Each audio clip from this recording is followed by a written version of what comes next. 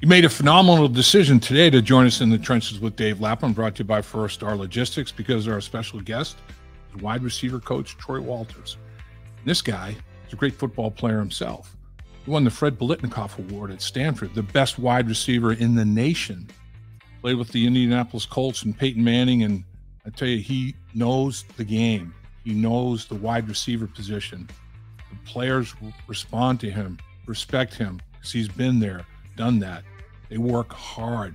He gets maximum effort out of them. They perform at an extremely high level, whether it's Ja'Marr Chase, who has a club record 15 catch game for 192 yards, or if it's Trenton Irwin, who has a personal best eight catches for 60 yards in a, in a role that supports with Higgins injured, um, with Charlie Jones injured. Trenton Irwin steps up and plays his tail off. So that's what the wide receiver group is all about. They have a great room. They play with a lot of emotion and intensity. And Troy Walters is responsible for that. And you'll understand why when you hear this guy is the best.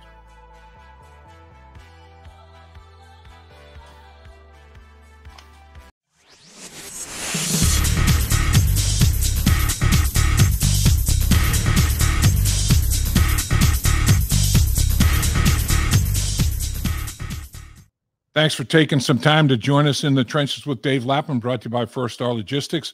As always, we're in the studios at First Star Logistics, and we've got a very special guest today.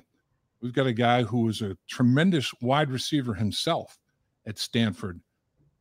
Some special mention honors, most, I think, uh, significantly, about the Fred Biletnikoff Award winner, is the best wide receiver in the country while at Stanford. So this guy knows of what he speaks his players. He, of course, he went on to an NFL career, Indianapolis Colts with a guy named Peyton Manning as as his quarterback for for a bit.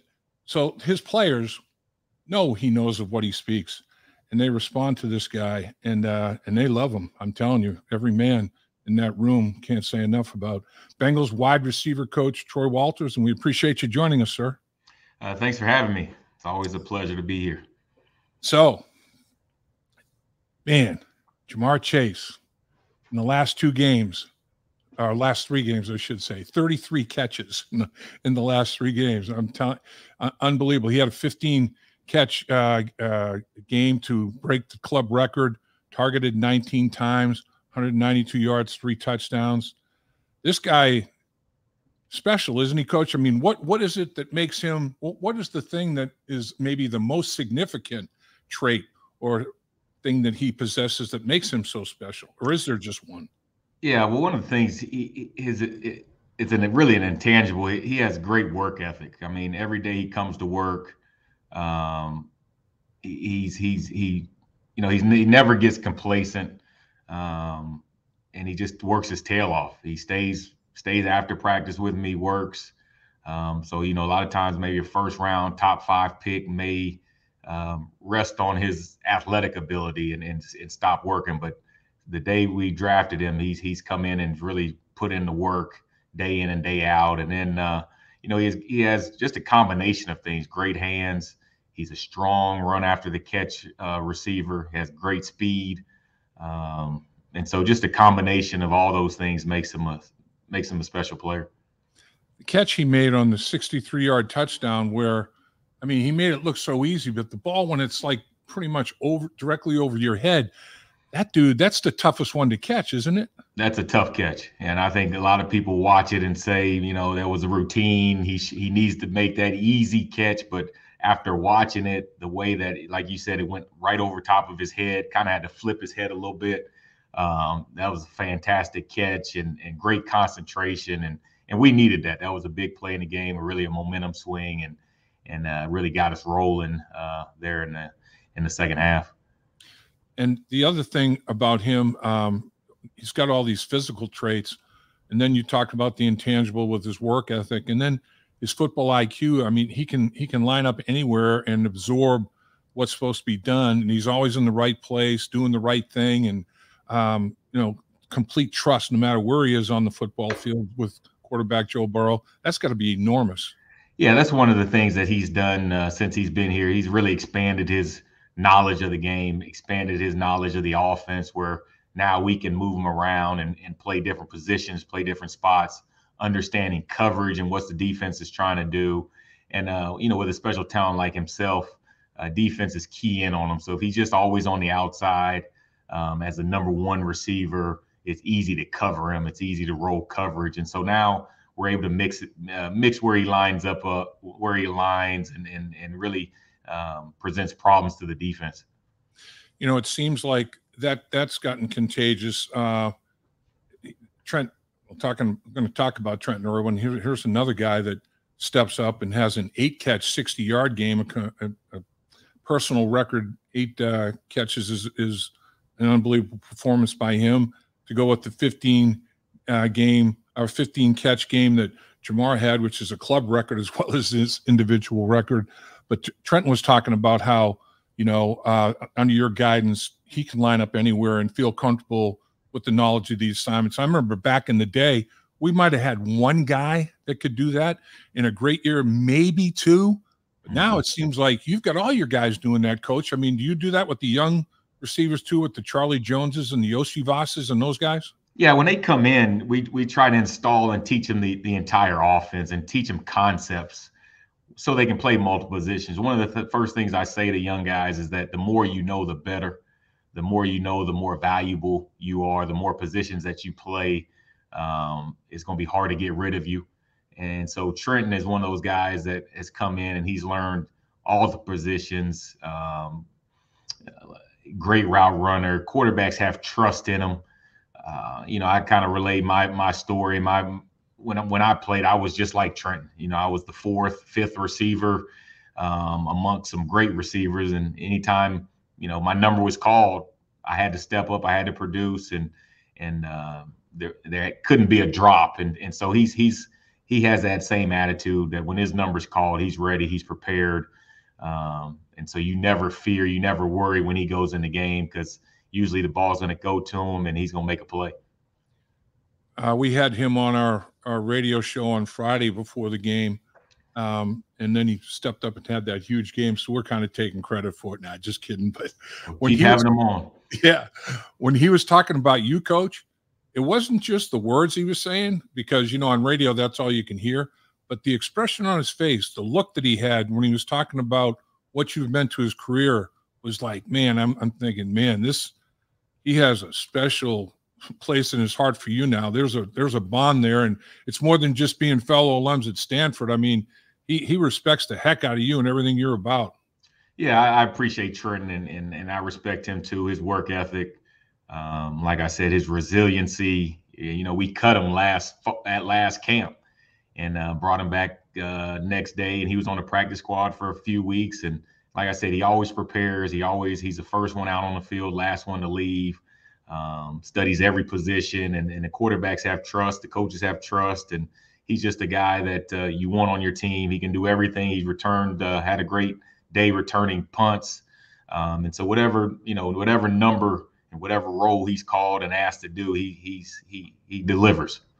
He, he does. I mean, uh, you know, he takes ownership of that role. There's no question about it. And he and when his opportunity comes, this dude is always physically and mentally ready, isn't he? And like you said about the uh, uh, the return game. He was a huge factor there. are Four punt returns for 68 yards, average 17 per along a 28. That's a few first downs that uh, offensively you don't have to worry about. That's big time, isn't it? And then yeah, the yeah, those are hidden yards, and and we really preach to all the returners. Hey, if you can get 10 yards and a first down, that's that's huge for for the offense. And and typically in this league, if you average 10 yards a, a return at the end of the season, you're probably in the top five. So um, it's not easy to return punts. And so to average, uh, you know, 17, 18 yards, that that's a tremendous day. Really is. I mean, if he had enough returns, he'd be fifth in the NFL right now in punt returns if he had uh, if he had enough to qualify. And you know all about that too. You, you provided that uh, that for your football team. The other thing about him that I love is, um, man, he blocks his tail off, man. Whether when it's on the edge in the running game or wide receiver screen block for a teammate or whatever, the dude he gives you everything. He spends he puts it all out there. Well, he he he doesn't take a day for granted, you know. Um, and so whenever his number, whenever he's on that field, he's gonna give it it all, give it, give everyone his all, and and uh, make sure he's doing the right thing. And and he understands that if he's not, then uh, you know you can be out of this league quickly. Um, so he's he's one of those perfectionists and a guy of uh, receiver of great detail, and and uh, when he goes on the field, he he he he contributes. So Ja'Marr can line up anywhere and everywhere. Trenton Irwin can do that. Uh, Higgins has lined up in multiple spots. Is, is, is Tee capable of lining up anywhere for you as well, or, or all, all your veteran guys in that category, Coach? Yeah, really everybody we have can line up. We want to move him around, even you know, even a Tee. We don't want him to just line up on the outside and uh, where you can easily get doubled and and guys can get up and press you. You know, we want to make sure we move him around and and you've seen that this season where he's lined up at number three. Sometimes he lines up by himself on the backside, and so we always want to uh, be able to move guys around, put them in advantageous situations, and um, and so he's a guy he understands the offense, and so he can he can move around as well. And your your your position got nicked up a little bit. The football gods weren't kind in the early uh, stages of the season. You got Tee with the little bit of the rib problem, and and Charlie uh, Jones with the with the thumb uh, the fracture there in his uh, in his thumb. Um, it tests your depth right away, doesn't it? It does, and that's one of the first things that we talk about in uh, spring and even in fall camp is that we've got to have depth. Injuries happen. You know, you hope they don't, but they they they typically do, and that the next man has got to be ready to step in, and there can't be a, a loss of production. And uh, and we, we since I've been here, you know, we've we we've been uh, able to do that. We've been able to replace guys when they've gone down. You know, last year Ja'Marr missed um, four or five games, and and a Tee and Trenton and TB they all stepped up and and contributed while he was gone. And and this year we've been hit with inju- the injury bug, but uh, we've got guys who, uh, you know, they know the offense, they know what's expected, they know the standard, and so when their numbers called, they're they're ready to produce.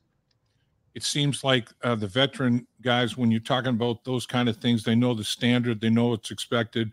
The veteran guys get the young guys up to speed in that regard pretty darn quickly. I mean, and, and the young guys look to those veteran guys as you know role models, leadership. You have, you have a pretty good room in that wide receiver room, don't you? Yeah, we have a great room. Um, you know, the older guys, uh, TB and, and Tee and, you know, Ja'Marr, he's an older guy in that room. You know, they really, and, and Stanley Morgan, they really set the tempo, set the culture. Um, you know, when new, when young guys come in, new guys, or even rookies come in, uh, it's, it's a, it's an easy group to get along with. Um, that's one of the things I love about them. That they, they make guys, new guys feel at home, and and Andrei and Charlie and Shed, those guys have uh, they, they embrace those guys, and now they're you know they're part of the family. They get along, they hang out. Um, so it's always good to see because you got to have that camaraderie off the field in, in, order to be tight on the field, and, and we have that, and and uh, it all stems from the the veteran guys and and their personality and their outgoing nature and and their selflessness. You know, they, they're not they're not uh, you know they're not envious they're not jealous they're not worried about a guy coming in taking their spot. They, they want to help who's ever on this roster. Talk about uh, how big it was when kwame lassiter made that catch for for a couple yards. I mean obviously his dad was you know a legend at that uh, with that franchise and his mom was there and uh, joe burrow put a little tag on a run play with you know that could potentially throw it and he gets that ball out for that his first catch, uh, that that two yard reception, and that had to be just what what was going through your your mind and your heart at that point, Coach. Yeah, it was a, it's a great moment. Um, nothing but joy, happiness for for Kwame. Um, like I said, just like Trenton and other, he's come in and he's worked his tail off, and you know he was a free agent and and uh, and uh, you know probably got offered maybe more money to go other places, but uh, he said no, I want to I want to be a Bengal. Um, I trust what you all are saying. And he's come in and, and uh, done a heck, heck of a job, works his tail, works his butt off. Um, as a guy that, you know, if you have to bring him up off the practice squad, you feel confident that he's going to go in and, and make plays. And just to go back home and, and like you said, where his dad um, had a great career and to be able to get his first NFL catch. And um, it was special because he, he, he deserves it. He's, he's earned it. He's a, um, say, tremendous young man. And, and uh, you know he's always ready too. So you know if, if he had to play more in that game, he could have gone in and, and made some plays, and we'd have been confident that he, he would have. So just happy, proud of him, and uh, you know when when his numbers called, he'll be ready to go again.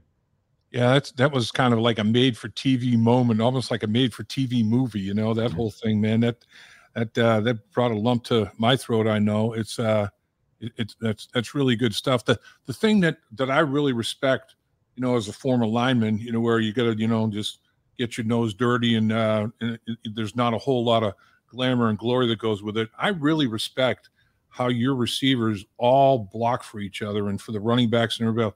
I mean, there's not one guy that's not willing. And I mean, they get after it. And that's a tribute to you and and uh and and them for you know responding to the techniques you're teaching and going out and executing them. It really comes down to the culture that Zac's uh, established here in terms of being unselfish, um, being a team first player, um, and, and those guys have bought into that. And, and we just, you know, I just continue to model and echo, you know, what really what Zac from the top, what he what he preaches, and and uh, those guys understand. And, and they they there's so much love amongst the players that we want to block for Joe Mixon and and uh, Chris Evans and who you know who's ever back there getting the ball and and we want to make sure that when they get the ball that we're doing what we have to do so they can be productive and, and make plays and and um, because we know that they're going to do the same for us. You know, we run a route. You know, you got to have the offensive line for blocking and, and the running backs protecting, and you know, it's, it is not just about us. So uh, we understand that. We understand that big plays in the run game um, are are made because receivers are getting after it down the field. You know, you can get four or five, but those those explosive runs, those 15, 20, 30 yard runs, a lot of times is because the receivers are, you know, blocking down the field and giving extra effort. So uh, we don't want to be one dimensional. We don't want to just be pass catchers. We want to be uh, pass catchers, run, run blockers. Um, we want we want to do the dirty work as well. Tell you, sometimes you know Ja'Marr's so damn strong. His entire body. I mean, I think his fingernails can bench 300. It's crazy. I mean, when he he lights people up, and when he blocks them too. I mean, he lights them up when they try to you know, bring him down with with poor technique. He makes them pay for that. But he's he's a physical dude, man. I, I love watching that guy play. Uh, give us an update on on the two rookies. You know, Charlie, I know is injured right now, but how is Charlie doing? What was he giving you, and what about Andrei? Yeah, Charlie's doing a good job. You know, um, really, this is his first year playing in the slot, so it's been an adjustment. And and and uh, training camp, I think he got better and better um, as training camp went on, as the preseason went on. Um, and so we're excited about him. And then, you know, he made a his role right now is being a punt returner, and he made a, uh, a huge explosive play against Baltimore uh, with the touchdown. And so he's only going to get better in that regards. And and uh, he's a guy that really fits the culture in terms of coming in, working hard, um, getting out on the field early, staying late, always next to the coaches, wondering what he can do better. Um, so we're excited to have him. And then Andrei, uh, you know, he's he's he's made an impact on special teams. I don't know if people have noticed that, but he's a core special teams guy. He's on all three or four of them and, and making plays. And and uh, you know, when his number was called last week in the game, he, he made he made a catch and uh, have had two. The, the one he caught on the sideline was close. Um, didn't have really any replay to see if he was in or not, but um, he's going to continue to get better the more reps he gets, the more playing time he gets, and we're excited about his future. So when when Joe was, I watched Joe in the pregame warmups uh, before the Arizona game, and I'm like, oh man, he's moving so different. I, you know, he was simulating pressure in the pocket, and he had the jackhammer feet going and slide stepping and climbing. And I'm like, oh boy, and then he's out of pocket, you know, half boots, full boots, nakeds, all that. I'm like, yeah, yeah, this this is going to be different. How how tough? I know what it's like uh, for an offensive lineman when the quarterback has to be stationary, you know, because of a medical scenario. How di- how different is the dynamic for the receivers when you know it's like, boy, I got to win right away on my route because you know the secondary, you know, when we're ex- um, extending and creating, that's kind of taken away. How how big an adjustment was that for the guys? Yeah, it really, you know, it starts with the defense, and when when a quarterback doesn't have mobility and they know he has to get the ball out quick, you know, they can sit on routes, they can play tighter coverage, um, and really disrupt the timing. And so it's it's tough on receivers. Uh, we understand that you know our role is to get open. So you know if the quarterback is you know lacks mobility, then it's our job to find ways to to get open. There's no excuses not to. And and so, but uh, you know, a healthy Joe he's he's one of the best in the game, And so when you see him running around and using his legs and his feet, and um, you know he's he's he's he's he's the, one of the best out there. And so it's always good when he's healthy and and uh, it looks like he's getting back to that that that standard. And uh, it definitely makes our job a lot easier. And because um, he does a great job extending plays, and that's where a lot of times big plays come from his, his him extending plays. And a couple of the touchdowns we scored um, were a result of him extending plays in the red zone. The first one when he threw it back to Chase, he kind of um, the first two reads weren't there, so he extended the play and and and and came back to the third read, and then the last touchdown, you know, the first two reads weren't there, and he uh, kept it alive with his legs and, and hit Ja'Marr in the back end zone. So um, it's always good when Joe's healthy, and he, he he's going to continue to get healthy and continue to get better.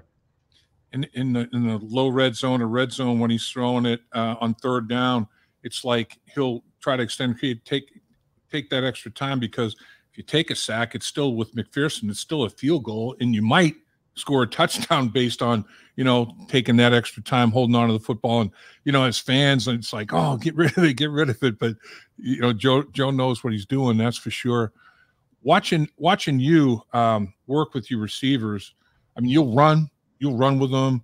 Uh, you'll you'll go, get in lines and catch you know catch uh, passes from from quarterbacks with them and, and that sort of thing. There's not probably a whole lot of receiver coaches around the national football league that that can do that uh, that are capable of doing that anymore physically. That's got to be, uh, I think, a relatable thing uh, with your players. Do you feel like they, hey, coach, man, he's still got some juice? Yeah, I, I, try to, like I said, I don't, I don't take a moment in the NFL and coaching here with the Cincinnati Bengals for granted. You know, I'm blessed to be here, blessed that Zac gave me this opportunity.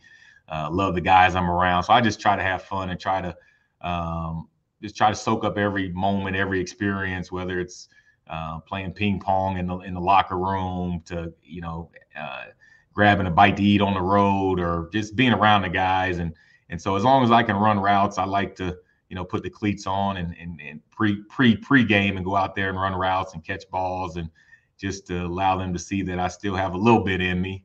Um, but I'll tell you a quick story. What happened in Arizona? Um, the last the last route we run or it's, it's, a go ball. So you're just running full speed you know 40 40 yards down the field.